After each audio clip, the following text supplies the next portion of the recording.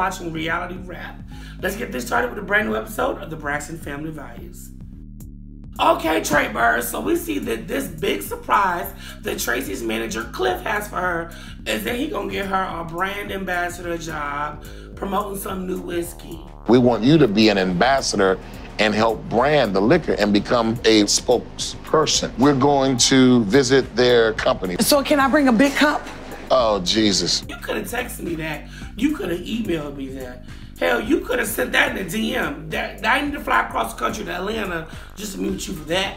Okay, Secret Squirrel. So we see that our girl Towanda is finally going to therapy and opening up to him about how her parents' divorce when she was a child has affected her current marriage, where she's now getting a divorce herself. My parents were both ministers. Um, we were very, very close knit, extremely close knit. And then my parents got a divorce. They were married for 38 years and then got a divorce. Mm-hmm. I was right out of high school, I do believe, when it started happening. When that happened, I think we were all devastated and it affected us in a different way. Okay, Tigers, our girl Toni Braxton is a living legend for a reason. She's telling Tamar that she don't think it's a good idea to invite their father's wife to their family trip where her mother will also be. Now y'all know the backstory that Mr. Braxton was cheating on Miss Braxton and there's a new Miss Braxton in the picture. When I really thought about it, when we had the conversation, well, maybe you know we need to be blended families and stuff. I said, well, Yeah. maybe, but adding the ex-wife that we thought we talked about before, that's not gonna be an option. As a woman, I thought about that. Like she can't do that. I couldn't do it. That's something I'll be watching with popcorn, girl. okay, Tay Marshes, we get the tea this week. We see that the hairdresser done told Tamar that Trina ex-boyfriend, y'all remember him? Sexual chocolate. Y'all remember him? Mm-hmm. He done got arrested at Trina door. They said the popo had came for him. The police were at the bar They said at the house. at Trina's house. Federal?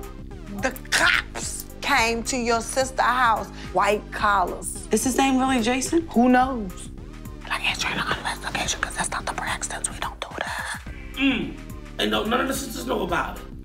Mm. This week's sister moment, the sisters have gotten together and they're waiting on Trina to drop this tea. Well, Trina dropped some preliminary tea. Oh, I'm not doing a pop up. Great girl, we don't care about that. What's this tea about Jason getting arrested at your house? Jason came over to my house to get some of his things. There was a knock on the door. Bang, bang, bang, bang, bang. Go upstairs. I went to the door, and he's in handcuffs. Is it what? Handcuffs. What? That's the tea that we need to know. To hell with a pop up. This week's bonus clip is Tamar giving some cute advice to Logan about how you don't kiss girls. Uh. Who you was holding hands with? Stella. Why you was holding Stella hand for? She ain't try to do nothing else. Did she try to get a kiss or something? No. Okay, Yes. good. Not yet. She tried to kiss you. That's what you do. You go, uh, Oh, that's right. Uh, that's what you do. Yeah. Their breath might be funky. Mmm. Like a good little shield. Mmm. hey guys, let's keep the social conversation going.